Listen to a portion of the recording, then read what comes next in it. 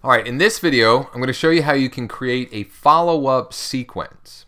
Now, follow-up sequence in GetResponse, what that means is an email sequence that goes out automatically after someone opts in to your campaign, whether it be through a capture page that you built with the web form builder, as I've shown you in, I believe, the video above, or if they opt in through a Leadpages page that you've integrated with GetResponse, for which there will be training below, or if they've opted in with a primary Empower Network capture page or Prosperity Team or iPaaS 2, doesn't really matter.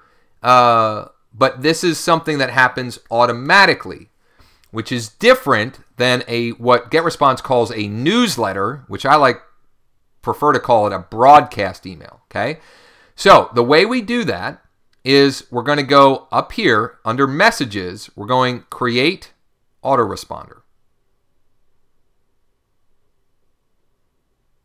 Okay. And notice that it's saying on day zero and immediately. Okay. That means this is an email that will go out immediately after someone opts in to this campaign. Okay. To this list. And notice that it's under test campaign. Sometimes if you've got multiple lists, that can you know, sometimes it gets goofy and it'll, you know, change that. So you just want to make sure that you've got the right campaign or the right list chosen there. Okay, and if everything else looks good, we're going to click on Create New Email. Create New Email. Right. Uh, here you can give the message a name. Uh, I usually just leave it blank because once you put in a subject, that will become the name for the message. So, uh, you know, the info you requested. Okay, or the video you requested, or you know whatever it is that you're sending them. That's usually what I put as a subject line uh, for an initial follow-up. So if they opted in for a video on, I don't know, how I generated a thousand leads in a week, you know, the info you requested, you know, 1,000 leads generated in a week. I might do like, uh, you know, 1,000 leads in a week. We're doing this all hypothetically uh, speaking, if you can't tell.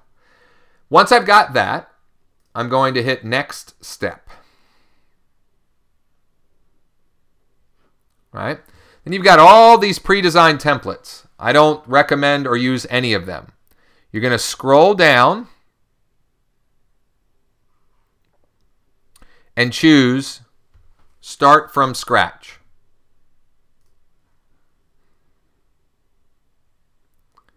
Then you're going to choose blank template.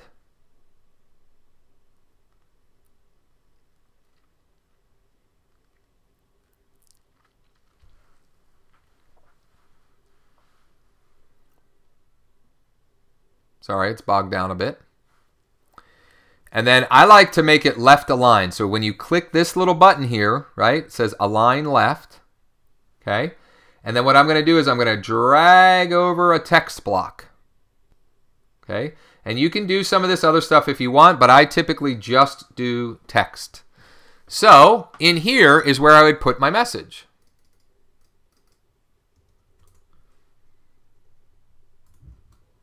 Hey, it's Josh.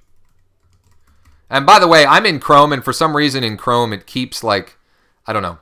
Uh, this this works better in Firefox, but my Firefox is being temperamental. Uh, but I'm doing this in Chrome, and so that's why it's keeping like the bold and I don't know, being weird. Um, here's the info you requested on how I generated 1,065 leads in only seven days. Okay, something like that, right? Uh, click here for the info. Enjoy. Now, incidentally, I would normally put more here, um, but in the interest of time, I'm, I'm specifically keeping it short. Okay, and I always I always put my, you know, I, I typically put that so people can connect with me. Um, and then I would you would click you would highlight. So first of all, I'm actually I'm going to copy all of this, and you can you can play with these settings here, right? I'm sure all of you know how to do that. Uh, I'm going to change the font to size 16. Uh, although 18 is probably fine also. And then what I want to do is I'm going to hyperlink, click here for the info.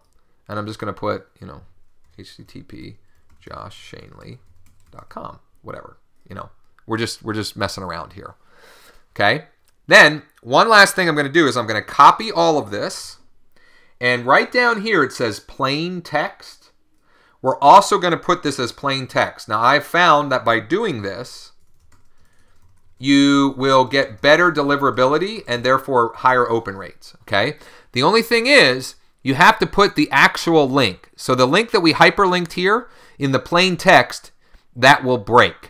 So you need to put the actual link for whatever it is you're sending them. Okay. Then we close that and then we hit next step.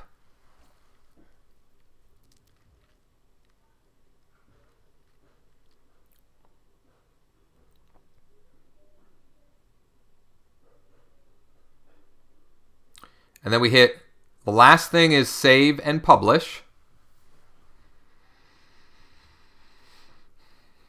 And then we've got this. So that is set to go up, so that it go out. If anyone opts into this campaign, that'll go out automatically for you.